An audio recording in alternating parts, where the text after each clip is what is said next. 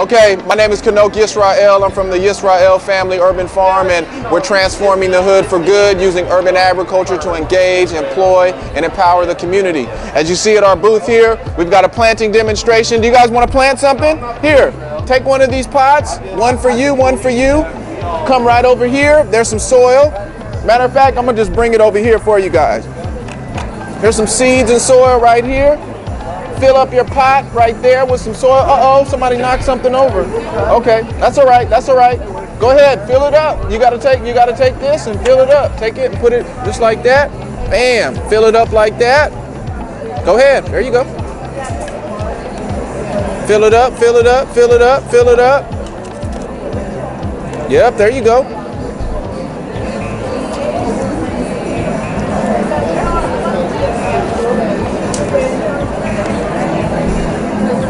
Here, let me fill you up just a little bit more and then we're gonna have you to plant some seeds here. I'm gonna show you how to do it.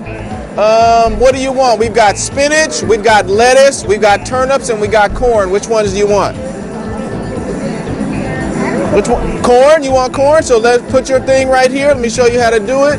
You want to take and put a little hole like that, make a little hole there, like this. Yep. And then you want to grab you a couple of these here, and then you want to drop them right in there like that. You want corn too? Which one do you want? Corn? Okay. Yep, drop a couple in there like that. And then here, cover it up. Cover the soil up. Cover it up just like that for yourself.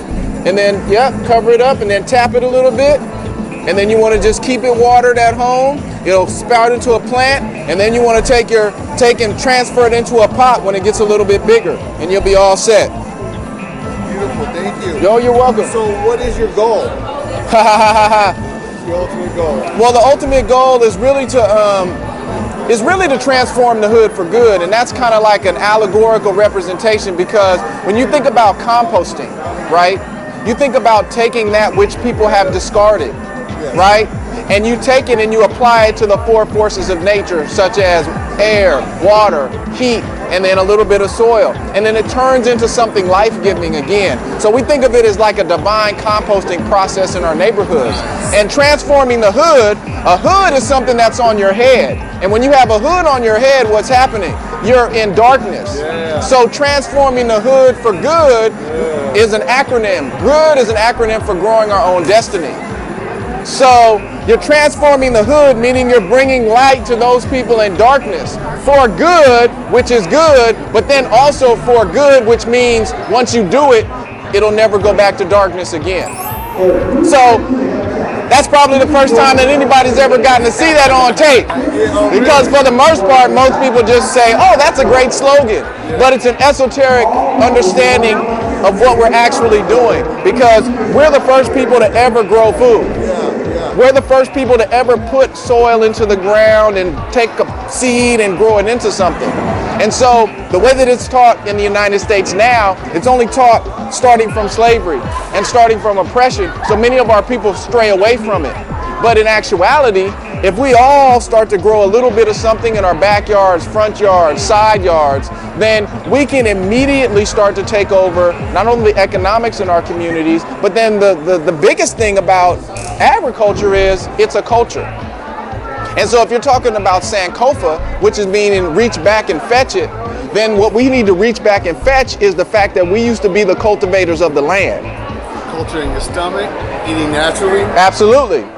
There's a culture there. That's why there's certain bacteria and things that have to be there. So that's what agriculture is all about. So anyways, that's those are one of the goals. But right now, really one of the main things is really to get the young people involved. You know, I'm halfway out of here.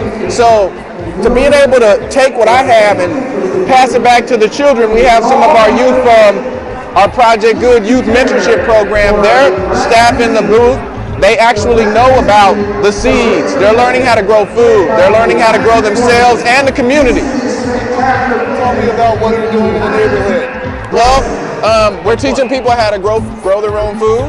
Um, we're teaching people how to cook the food. So we have cooking classes where we're teaching you how to make good, healthy meals um, on a shoestring budget.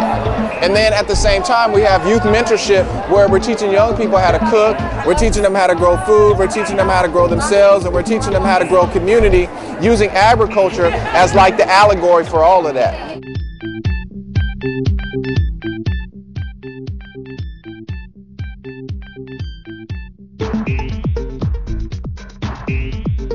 So what's your website again, sir? Uh, www.yisraelfamilyfarm.net. You're welcome. You're welcome.